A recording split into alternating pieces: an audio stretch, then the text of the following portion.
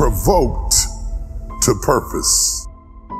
You would think that purpose just happened, but purpose doesn't just happen. They went years just going through routine. Provoked is not a good feeling. It is an uncomfortable, irritating feeling. It is a scary, annoying feeling.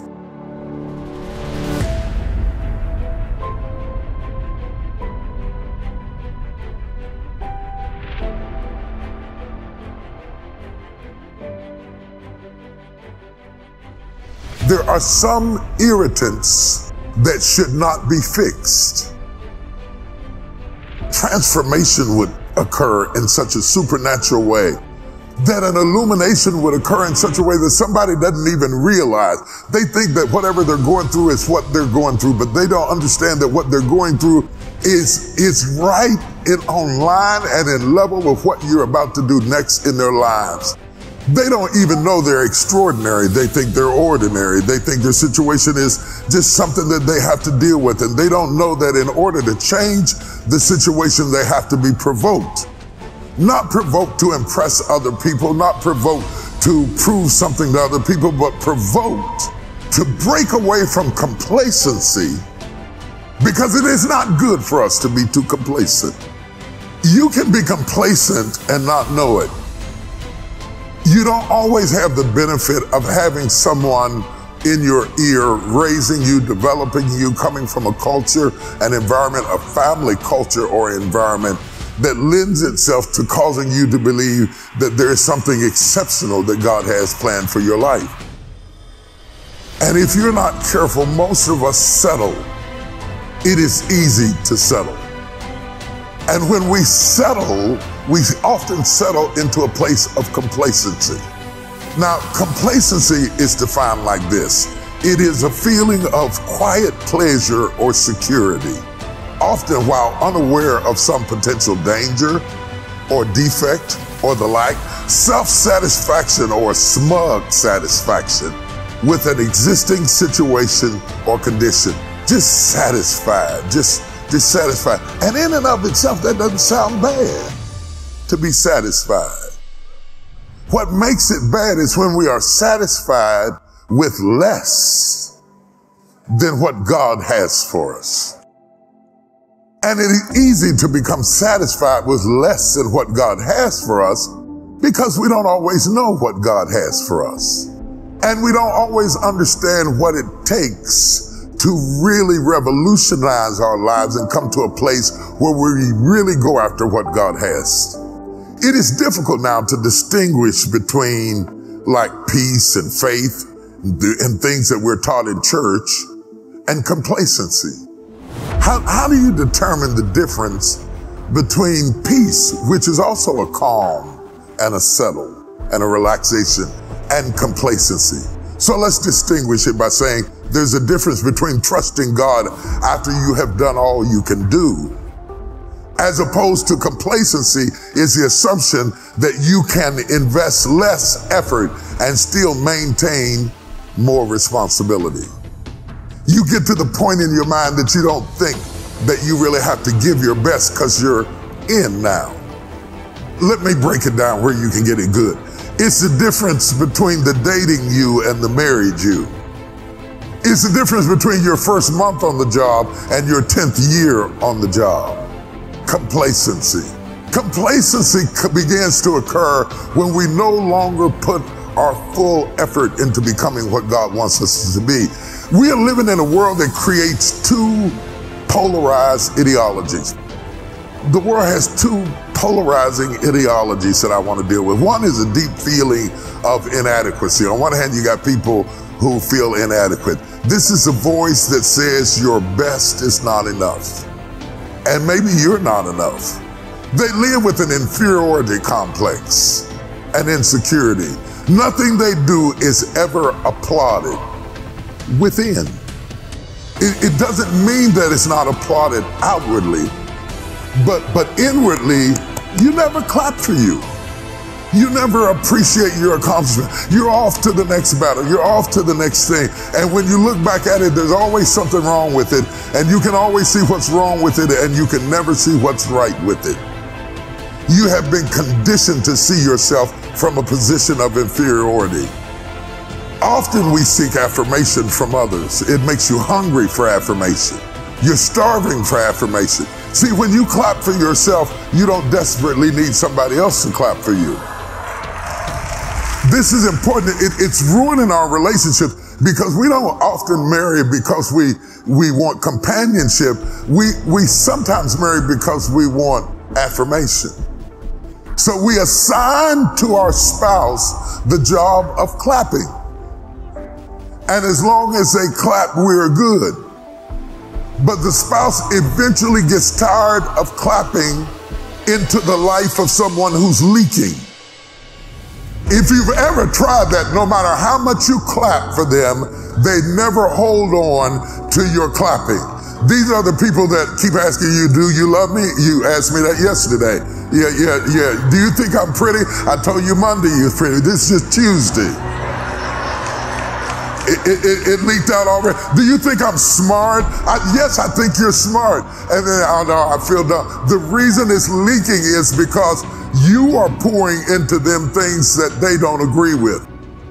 I'm not just talking about so much just believing in, in oneself. I'm not even talking about believing in God. I'm talking about allowing positivity to be internalized when it is due when it is really due. I mean, when you've really done the work and you've done a good job, to take a moment, and I have to, I have to work on this in my own life, to take a moment to take in good moments. Sometimes I'm so busy going on to the next thing that I don't take time to just Selah.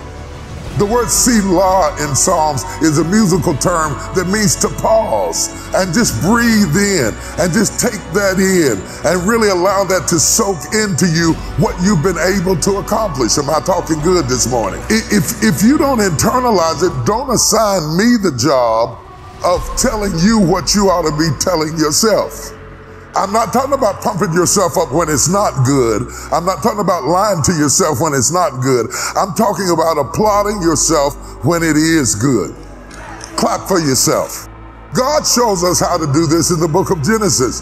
The Bible says that God stepped out on nothing and said, Let there be something, and let there be light, and there was light, and, and the evening and the morning was the first day. And guess what?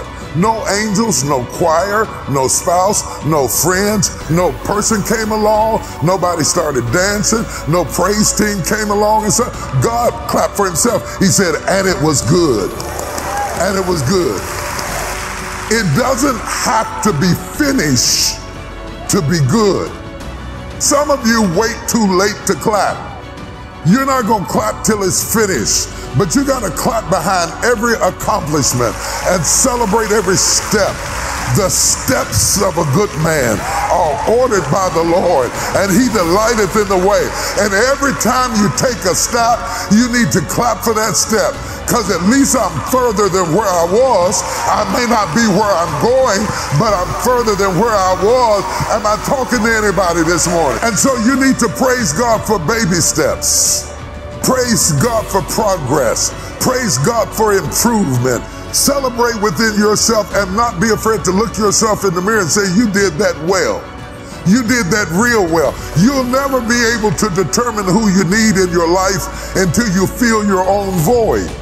You'll choose somebody out of your pain, and then when you get well, you don't want them. On the other extreme, but equally as dangerous, but the antithesis of inferiority is the assumption that what God has given to you requires nothing of you. You don't put anything into it. You just received it, you got it, you think it ought to be there. Anything you add to your life requires your attention. If you have a goldfish, you have to feed it. If you get a cute little puppy, you got to walk it. If you buy a car, you're going to need oil. If you buy a car, you're going to need gas. Anything you add to your life is going to require more of you. Stop adding more than you're willing to maintain. Say this word with me. No. Some of you have said yes so much because you assume that you are collecting whatnots to keep on a shelf, but in reality, you keep saying yes and not really taking care of what you already got. You keep adding more and more and more and more to your life. And then somewhere on some therapist couch, you say, I'm overwhelmed and I'm nervous and I got anxiety. And I guess you do. To him whom much is given, much is required. This grandiose mentality that you have has led you to a place of utter frustration. You underestimate what greatness costs. This is a dangerous thing. You don't seek to keep up advance your skills, study or work out. You don't seek to maintain the relationship, keep it spicy and interesting. You think I got that on lock. You do not have that on lock. You come on, come on, come on. You never, you never have it on lock. You don't have your husband on lock. You don't have your wife on lock. You don't have your career on lock. You don't have your child on lock. You don't have your mama on lock. You don't ever have anything on lock. That's why you got to celebrate people while you have them. You have to love them while you got them. You got to pour into them while they're there. You don't have it on lock. Somebody is after your job right now. Somebody's after your spouse right now. Somebody's after your house right now. Somebody's after your position right now. Never fall into complacency and think that you are so wonderful that your just being there is all that's required. No, no, no, no. Complacency will not do it. You have got to put some grind in it, some sweat into it, some work into it. That's why you don't need too many its. Because every it you take on is going to take something from you. It's going to give something to you, but it's going to take something from you. And there may not be enough of you to handle all the places you said yes to. And you've got to be able to evaluate, am I a pint, am I a pint sized container with a gallon size appetite?